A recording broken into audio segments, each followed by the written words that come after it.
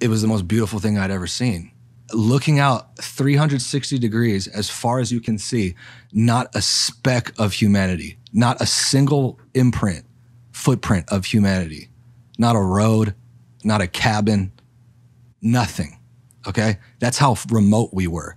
Two weeks hike to the nearest town, walking every, hiking every day. Where where, where is this? By the way? Southern Utah. Got it. You're Yeah. so remote, dude. You're if you hike, you gotta hike, you gotta walk every day for two weeks before you get to the nearest town. That's how remote you are. So I'm looking around and I'm so overcome by emotion, dude. It felt like I was touched by the hand of God.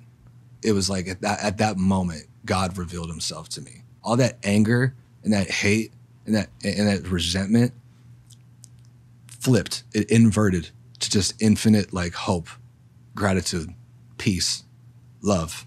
It just flipped on a dime like that. And I was so overcome by emotion. I just sat at the edge of that at, of that, of that cliff and I wept.